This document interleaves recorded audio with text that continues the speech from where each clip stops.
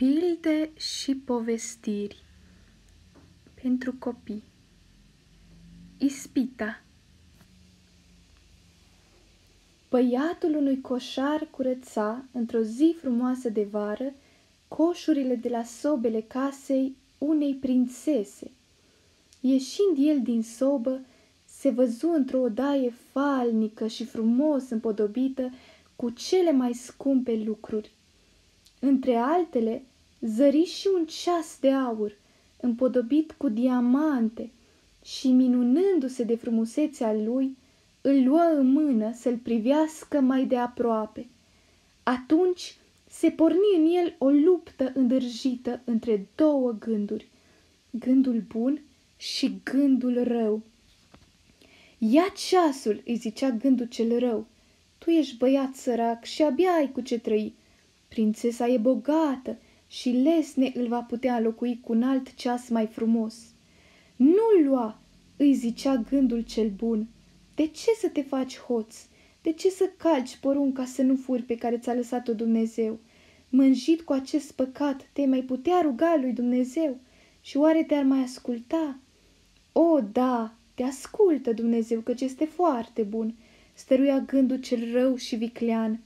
Și apoi nu vezi ce bine îți va fi și nimeni nu va ști de fapta ta dacă vei pleca în alt oraș.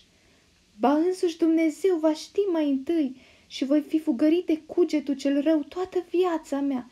Nu, nu voi lua ce nu este al meu ca să nu-l supăr pe Dumnezeu. El voiește ca nici măcar să nu râvnim la bunul altuia. Ba mai mult, după această faptă rea, voi pierde binecuvântarea lui și pacea sufletului meu. Și astfel, chipzuind, se hotărâ și își zise, nu, nu vreau să am acest ceas și îl puse la locul lui. Apoi se sui iarăși pe coș și, isprăvindu-și treaba, se duse acasă vesel, gândind că nimeni nu-l văzuse în acea odaie. Dar se înșela, căci în odaia de alături, în spatele ușii întredeschise, era prințesa care îi urmărise orice gest, fiecare mișcare. Dacă ar fi luat ceasornicul, ar fi ieșit numai decât, dar, pentru că băiatul îl așezase iarăși la locul lui, ea nu-l supără, ci îl lăsă să plece în pace. Tot în aceeași zi, spre seară, ea trimise după el să-l cheme. El veni și ea îl lăudă pentru fapta lui cinstită și îl îndemnă ca și de acum înainte să fie cu frică de Dumnezeu și să nu facă niciun păcat. La sfârșit îl întrebă dacă îi place meseria pe care o avea sau poate că vrea să învețe altceva.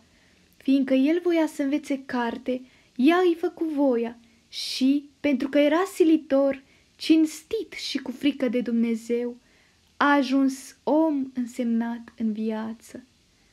Mărire ție, Doamne, mărire ție!